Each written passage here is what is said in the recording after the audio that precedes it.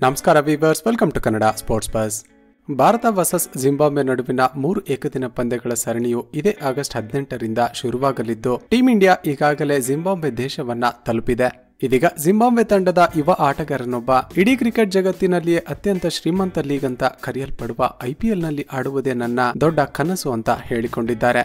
ಹೌದು ಸ್ನೇಹಿತರೆ, ಜಿಂಬಾಬ್ವೆ ತಂಡದ ಯುವ ಆಟಗಾರ ಇನೋಸೆಂಟ್ ಖಾಯಾ ಇನ್ನೇನು ಕೆಲವೇ ದಿನಗಳಲ್ಲಿ ಶುರುವಾಗಲಿರುವ ಏಕದಿನ ಸರಣಿಗೂ ಮುಂಚೆ ಸಂದರ್ಶನವೊಂದರಲ್ಲಿ ಮಾತನಾಡುವಾಗ ಭಾರತದಲ್ಲಿ ನಡೆಯುವ ಐಪಿಎಲ್ನಲ್ಲಿ ಆಡುವುದೇ ನನ್ನ ದೊಡ್ಡ ಕನಸಾಗಿದೆ. ಸದ್ಯ ಭಾರತದ ವಿರುದ್ಧ ನಡೆಯಲಿರುವ ಪಂದ್ಯಗಳಲ್ಲಿ ನಾನು ಉತ್ತಮ ಪ್ರದರ್ಶನವನ್ನ ತೋರಿಸುವಂತಾಗಲಿ ಅಂತ ದೇವರಲ್ಲಿ ಪ್ರಾರ್ಥಿಸುತ್ತಿದ್ದೇನೆ. ಮೂರು ಪಂದ್ಯಗಳ ಸರಣಿಯಲ್ಲಿ ಅತಿ ಹೆಚ್ಚು ರನ್ಗಳನ್ನು ಗಳಿಸುವ ಮೂಲಕ ಐಪಿಎಲ್ನ ಫ್ರಾಂಚೈಸಿಗಳ ಸೆಲೆಕ್ಟರ್ಗಳ ಗಮನವನ್ನು ಸೆಳೆಯೋದಕ್ಕೆ ಪ್ರಯತ್ನ ಪಡ್ತೀನಿ.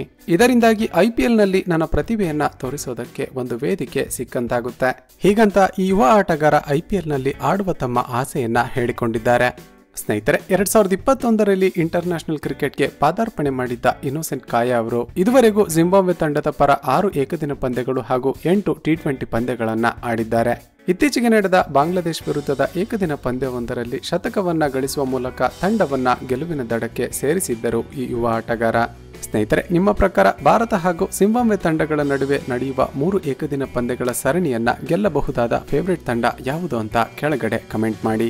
ಇದೇ ರೀತಿಯ ಸ್ಪೋರ್ಟ್ಸ್ ನ್ಯೂಸ್, ಅಪ್ಡೇಟ್ಸ್ ಹಾಗೂ ವಿಡಿಯೋಸ್ಗೋಸ್ಕರ ಈ ಚಾನಲ್ ಅನ್ನ ಸಬ್ಸ್ಕ್ರೈಬ್ ಮಾಡಿಕೊಂಡು ಪಕ್ಕದಲ್ಲೇ ಇರುವ ಬೆಲ್ ಐಕಾನ್ ಅನ್ನ ಕ್ಲಿಕ್ ಮಾಡಿ.